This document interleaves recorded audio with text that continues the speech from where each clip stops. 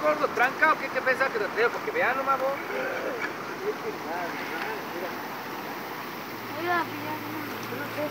No, sé. Qué será eso, eh. seguro.